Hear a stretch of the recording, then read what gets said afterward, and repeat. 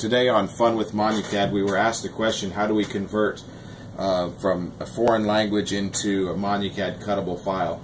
So we've just gone here to Google, went to an English to Japanese uh, translator, and we're going to type, uh, I love you. That'll give us our Japanese text. I'm going to copy this, Control C. We're going to go into Corel Draw, and we're going to create a new workspace. I've got a 12 by 12 here. It really doesn't matter a whole lot on the size. You'll see why.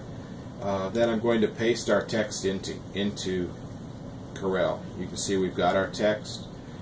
Very simply, click Object, click Convert to Curves, and it will break that apart. Then we're going to make it larger. The larger you make this text, the better um, it will convert into MonuCAD simply because it will convert arcs to arcs rather than lines and chunks of lines and it'll make a smoother looking character. But once we've got that uh, scaled the size that we want it, um, we don't have to scale it to the exact size we'll use in MonuCAD because we can do that there. We're going to go to File and Export. We're going to export to a DXF AutoCAD file.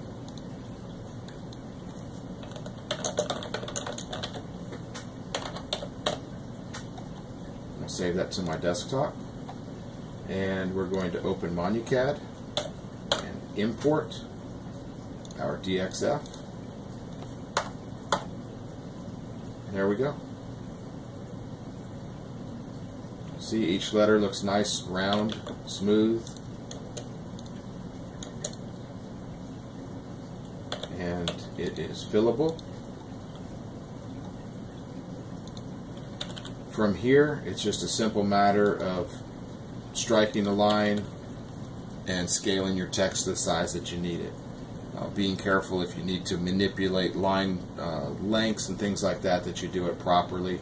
Probably best to go back to the copy that the customer gives you, provided in Word or some other format.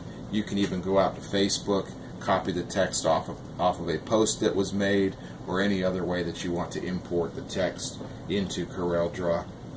You don't have to use Corel Draw. You can use Photoshop or uh, whatever drawing program that you use that will allow you to break that text into curves. So thank you for joining us at Fun with MonuCAD.